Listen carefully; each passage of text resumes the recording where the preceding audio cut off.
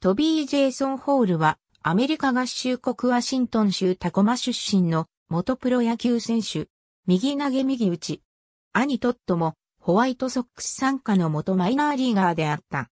2000年にタンパベイデビルレイズからメジャーデビュー。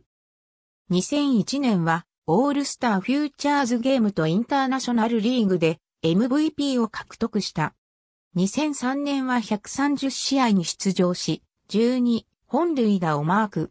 2005年は自己最多の135試合に出場。2006年は打撃不振などがあり、6月27日にマーク、ヘンドリクソン投手及び金銭と共に、ロサンゼルスドジャースへ移籍。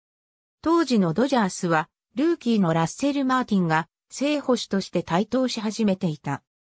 そのため、移籍後は、出場機会に恵まれず、わずか21試合の出場に終わった。しかし、そんな限られた出場を機会ながら、打率368、盗塁阻止率357をマークし、元デビルレイズの正捕手として存在感を示した。同年12月16日にシカゴホワイトソックスと2年間の契約を結ぶ。2007年は正捕手 AJ ピアジンスキーのバックアップとして迎えられたが、わずか38試合の出場に終わった。2008年10月30日、ホワイトソックスは、球団側が持っていた225万ドルのオプションを放棄し、フリーエージェントになった。2009年1月14日、ヒューストンアストロズとマイナー契約を交わし、春季キャンプの招待選手となった。しかし、2月22日肩の手術をすることに決め、そのためアストロズは契約を無効とした。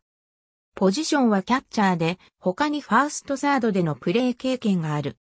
スイングはやや大きめだがスピードがあり、スイングの割に三振が少ない。しかし、その一方で、早いカウントでは我慢が効かず、ボールを引っ掛けてしまうこともしばしばある。肩が非常に強く、送球がワンバウンドするまでの距離が長い。フットワークも進歩し、送球にかかる時間が短くなったので、盗塁阻止率の高さで、アリーグ有数の存在となっている。補給技術も巧みで、守備範囲、動きともに向上している。だが、リード面で難があり、配球パターンが読まれやすい。そして、太りやすい体質のため、太ってしまうと守備の際の機敏性と敏捷性が失われる傾向にある。ありがとうございます。